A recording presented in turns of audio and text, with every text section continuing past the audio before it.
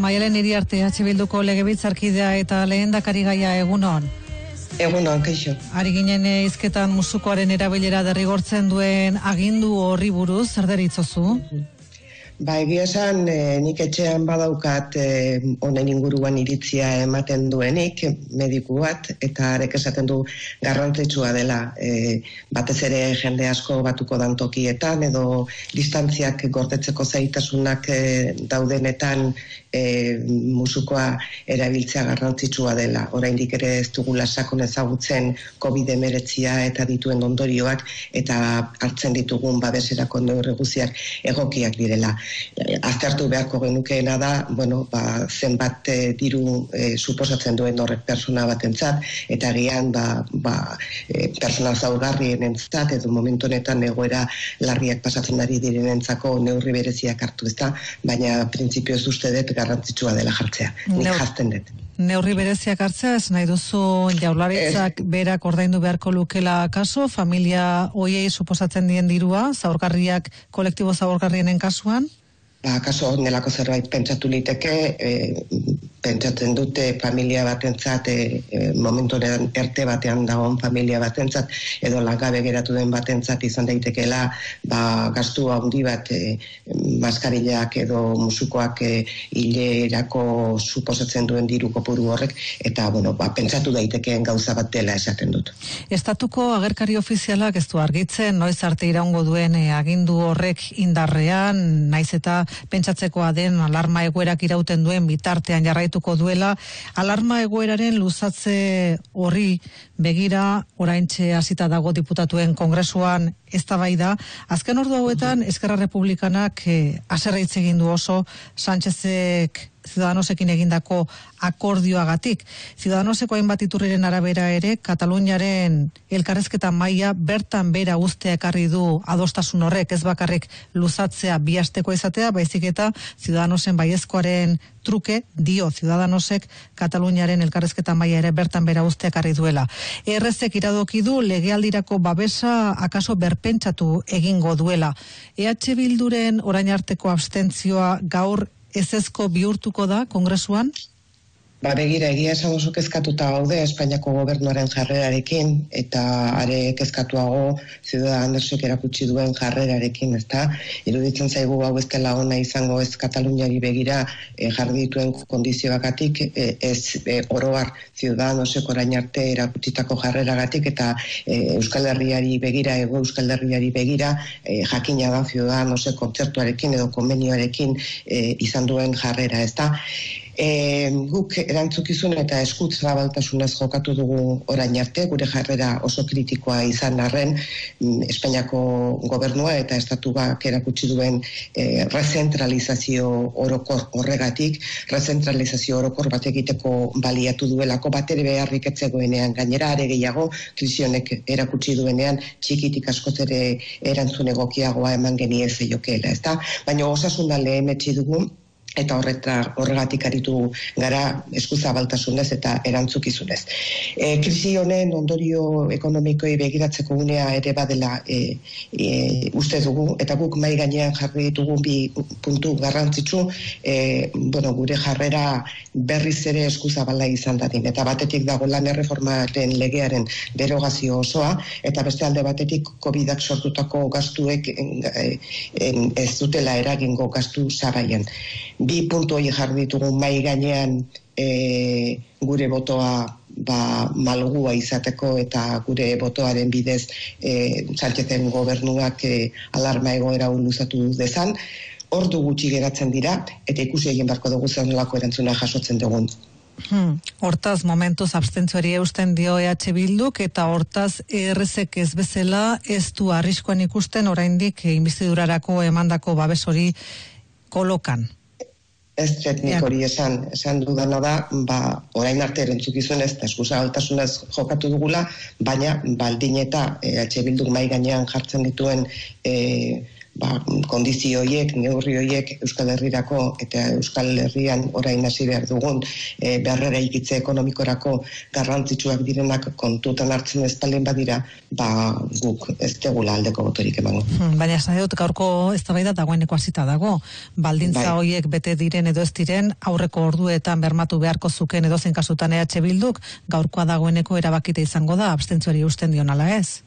Baldintza hauek bete daitezke datozen minutuetan, datozen ez irauten duen bitartean, badakizu meite hori batzutan dela gertatzen dela. Konforme, zain geratuko gara, hortaz azkenean e, ustailaren amabian, legebiltzarrerako hauteskunde data, baina egoera kokerrera egiten badu, udazkeneko aukera zabalik utzi du urkulu lehen dakariak. Bi aukera hortaz, plantamentu horren arabera, EH Bilduk plantatzen duen iraileko aukera bakar baten aldean. Bai, nik uste dut eh, nogorku loko zoarki zeukala zeratik uste egin nahi zituela hauteskundeak eta gainera, bueno, ba, azken egunetan prentzen ikusi dugun bezala, ba, zeudela e, gurekin elkarrezketan edo bileran zegoen bitartean dagoeneko sinatu ziren dekretu batzuk hori horrela izan zedin, ezta? E, bueno, ba, nik esan dezakedan bakarra da, e, gu egiteko pres gaudela, EH Bilduko azken militantetik hasietan igan naino, gure proposamenak eramango ditugula epe labur, epe ertain eta luzerako, e, osatu, eraiki behar dugun horizonte hori ikustarazteko eta bitartean jarraituko dugula lanean guk proposatzen genuen hildotik bai e, guk alkatetza daukagun udaletan eta bai batzar nagusietan eta baldin eta diputazio irankorrak oraindik ere zirrikiturik uzten baldin badu gure ustez premiazkoak diren e, beharroi erantzuteko eta iritsiko direla hauteskundeak eta eta egingo ditugula. Bide batez urkuluk plantatu duen balizko bigarren data hori, ezta? Beharra gertatuko balitz, alderdiekin adostu beharko litzateke zure ustez? Nik uste dute berak berandu, baina hauteskundiak bertan bera ustea e, gurekin e, hitz egin zuen bezala, ze orduan bai iruditzen zait adostasuneaz hitz egiteko aukera e, eman zigula bilera honek ez bigarren honek omen ez dugu ez era adostu omen e, bakoitzak bere iritzia mai gainean jarri du eta eta gero era, lehendakariak berak horrela dagokiolako be, bide batez e, berari dagokio hauteskunde deialdi hauteskunde deialdi egitea baina esan nahi dut ez dela akordiorik egon nik uste dut beste bat, data baterako ere hitz egin egin beharko gendukela beste data bat e, esku artean e, erabiltzen hasten baldin bagera seinale izango da e, daukagun osasun egoera larria dela eta aztertu egin beharko dela ba zein den egoera ongi posta bidezko bozketa sustatu nahi du jaurlaritzak bereziki kolektibo zaurgarrienek e, boto emateko eskubidea bermatuta izan dezaten. Baduzuek kezkaren bat edo eskakizun zehatzen bat kontuan izan da ustaila gainera opor garaia dela berez? Guk daukagun e, egiten dugun aldarrikabepen bakarra da, hauteskunde hauek egin behar direla e, baldintza demokratiko guztiak bermatuz eta guztientzako baldintza horiek bermatuz. Eta horretan lan egingo dugu guk hori babesteko eta herritar guztiek aukera guztiak izan ditzaten beraien bozka emateko garaian nahi duten e, opzioaren alde aukera berdintasunean. Mm. Ordu tartena egoki ikusiko zenuke, gomendio bezala, legia adinaren arabera ordu tarte batzuk proposatzea boto ematera joateko, esate baterako? Bueno, nik uste dut hau da aztertu egin beharko liratekeela, ez da, eta e, nik faltan somatu dudana prozesu honetan guztian izan da, ez da lehenolako elkarrizketarik egon. Ez hontan eta ez beste hainbat kontutan.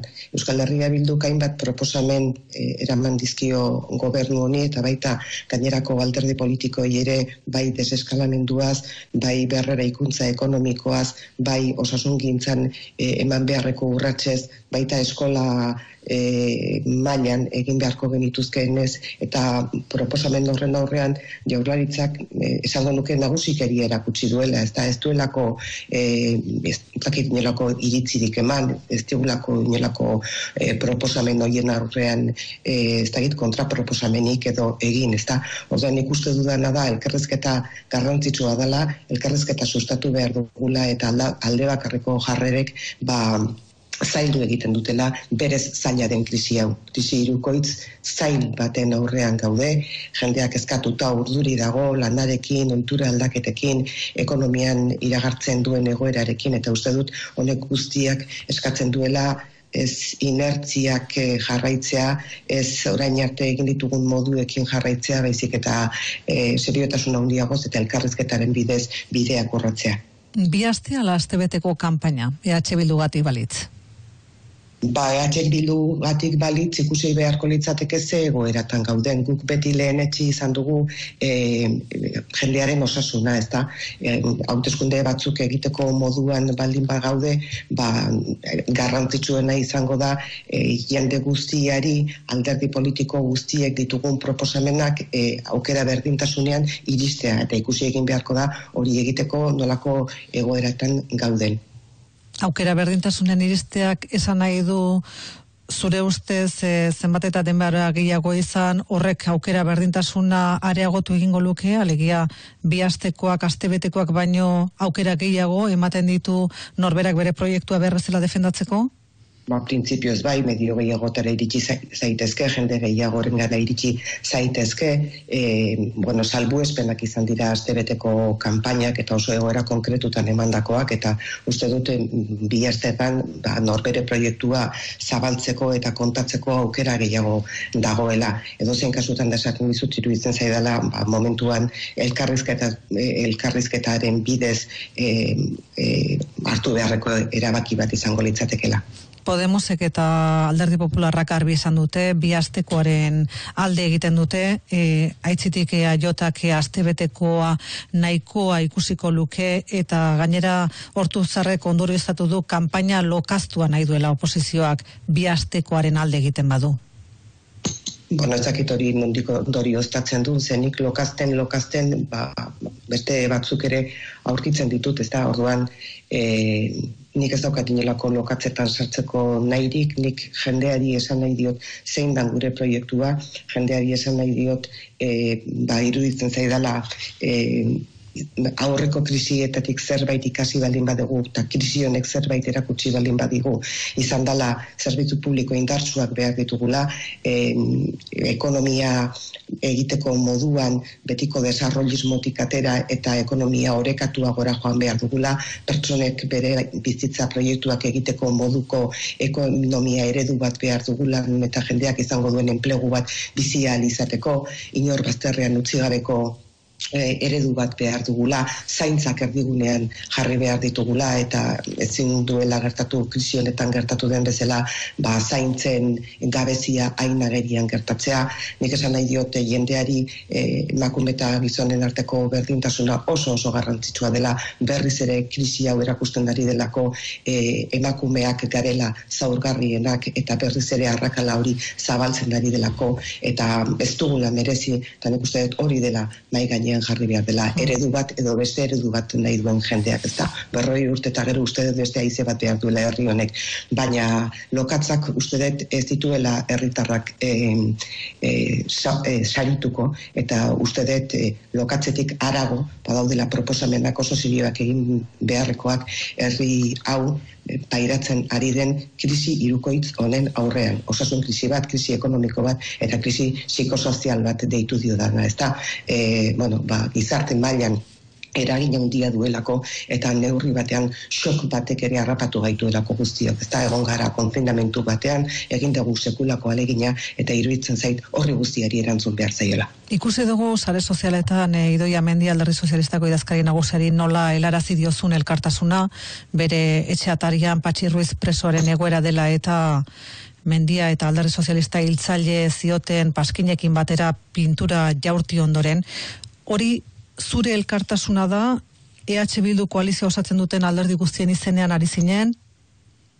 Bueno, nik atzo gauean hori ikusin duenean, nik neuk jarri nuen txio bat izan zen, eta argi dagoena da Euskal Herria bilduk nik bezala eskubide guztiak, persona guztientzat aldarrikatzen dituela beti. Tatxi horri zen egora, Mm, dramatikoa da eta aspaldi irten bidea behartzuena gainerako euskal preso eta COVIDaren krisian oraindik ere salbu espenezko eta mutuazetzko egoeratan dauden preso guztientzat esan nahi dut. E, nazioarteko erakundeek, nazio batuek barne apelazioak egin dizkete bai Frantzia eta bai Espainiako gobernuei egoera hau aldatu dezaten, eta edozen kasutan bai estatu batek eta baita besteak ere preso guztien segurtasunaren zaindari izan behar dute, ezta? Gu lanean ari gara hori horrela gertatu dadin, e, beti egiten dugun bezala, baina esan dizut eskubide guztiak pertsona guztientzat, mm. eta eskubide guztiak pertsona guztientzat esaten baldin badut eskubide guztiak ideia mendierentzat ere bai. Eta tinko esaten dut, iruditzen zei dela, erabat lekuzkan pokoa dela gertatu dena. Elkartasun horien e, parekoa da gaitzespena, diot, e, esate baterako eaiotak gaiz, gaitzespen espreso ere eskatu dizuelako, ba, batzokien aurrean, edo batzokien aurka, eta alder sozialistako herriko etxen aurka egin diren erasoen aurrean. Jakina da, e, e, guk ez dugula bat egiten dondelako ekimenekin, eta e, argi eta garbi utzi dugula behin eta berriz e, Euskal Herria bildu horretatik kanpo dagoela argi eta garbi. Eta argi eta garbi eta tinko esan dugu. Mm, gero ba, ba, batzuk nahi baldin badute hitz batekin kateatu kateatu daitezke. Nik proposatzen diedana da e, jarri gaitezen urratsak ematen eskubide guztiak persona guztientzat izan daitezen iruditzen zaidalako herri honetan oraindik ere bakebidean urratsak badauzkagula emateko presoetatik hasita biktimetatik e, jarraituta biktima guztientzat eskubide guztiak aldarrikatuz eta eman ditzagula urratsak e, benetan hori posible izan zen. Zenbaten joko kalte egin diezaioketen nola nahi ere eraso hoiek baita EH Bilduri ere kanpaina honetan? Baita EH Bilduri ere, esango nuke EH Bilduri, e, nik uste dut, e, batetik eta bestetik EH Bildu igatzeko, e, bueno, daiko jarrera argia geratzen dela sarri askotan, ez da? Beraz, e, argi esaten dugu, e, guk ez dugula bat egiten duenako ekimenekin, eta, eta tinko, e, da tinkoa dela gure jarrera e, jarrera hauekiko. Beraz e, argi eta argi ba igatze bat nahi dute ba batzuk eta bestek.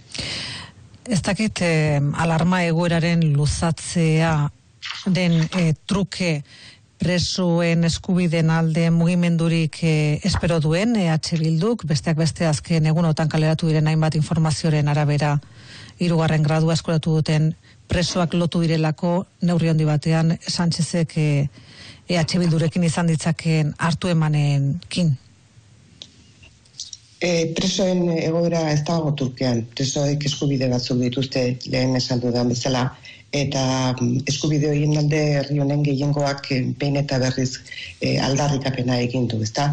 E, momentuko egoera mm, dramatikoa da, bai patxerro izen egoerari dagokionez, baina baita gainerako presoi dagokionez ere, COVIDaren krisiak lehen esan dizuen bezala, gauzak asko-asko kaltetu dituelako.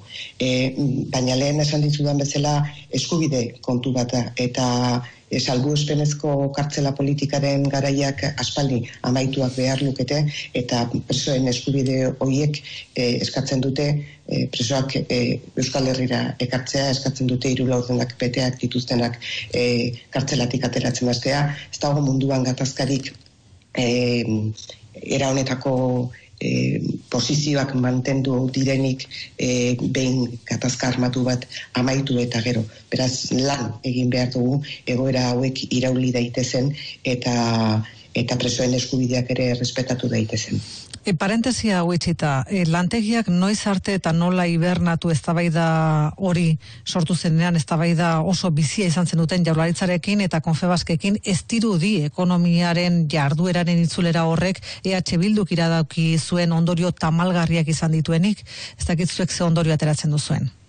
Bueno, ba, zorionez, e, batetik esan behar da, e, itzulera gertatua izanagatik e, enpresa asko erteetan eta enpresa asko bere lanaldiaren e, ba, e, denborako puru batean ari zirela eta etzala gauza orokortu bat izan, edo zein kasutan e, COVID-aren e, edapenean eta COVID-ak aurrera egitean nahaztu baginen ni asko postuko naiz beti. E, iruditzen zait oso egoera larri baten aurrean gaudela, e, ezin degula bromatan hartu egoera hau, e, egoera honek aldatuko ditula bai momentuko eta baita urte luzeetarako gure ohiturak, e, gure ekonomia, gure hausnarketak pentsatzen dut ere aldatu beharko litukeela eta hori horrela baldin bada e, ba, ni postuko naiz ekibokatzeaz e, edo zen kasutan iruditzen zait momentu hartan etzegoela alako beharrik eta iruditzen zaiten beste gauza bada ba, Eusko Jaurlaritzak orduan erakutsi zuen tinkotasuna beste gauza batzutan ere erakutsi zezakeela. COVID tasa, e, alderdi EH Bildu proposatzen duen COVID tasa horren e, xeetasunak e, esan dizazkigu zuke, alegia ean bai. nora, noraino legoken COVID tasa hori aplikatzeko modua zure ustez? Ba begira, guk COVID tasa jaso dugun dokumentua, dokumentu asko zere zabalago bat da. Dokumentu asko zere zabalago horretan, eta batez ere egiten duen lehenengo e, hilabete hauetarako ere lana egin genezake lakoan e, proposatzen genuen alde bitako begirada bat. Alde bitako begirada bat premiaz erantz, oraintxe erantzuna behar duten hainbat gairi e, irten bide bat emateko eta e, behin zutik jartzen hasita epe labur ertain eta luzerako e, irten bideak aurkitzen hasteko. E, atal nagusienak guretzako osasuna hezkuntza ekonomian arlo ezberdinetan e, kontuan izan da baita ere e, gutxi hitz egindan enpleguaren inguruan eta enpleguaren kalitatearen inguruan kultura segurtasuna horiek ikusiak biltzen genituen eta horiek guztiak argi dagoena da suposatuko dutela inbertsio handi bat, gastu handi bat diru bilketa geisten ari den momentu batean.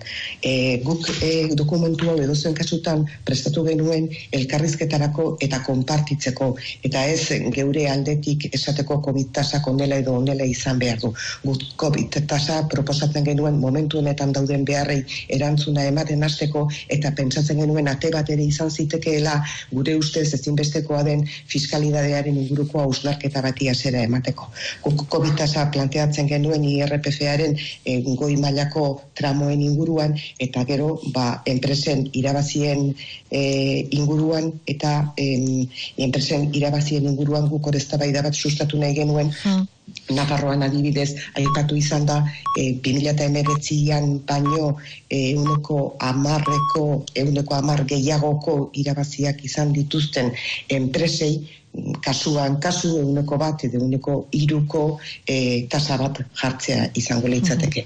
Eta gero, bueno, ba... Hortaz, e, Nafarroan planteatu den hori, alegia, eguneko amar, e, 2008ko mm, zeran, urtean baino eguneko amarreko irabaziak, uneko amar baino gehiago irabaziak izan dituzten enprese hoiei jarriko litzaieke, zuen araberako bitasa hemen ere, do jarri beharko litzaieke?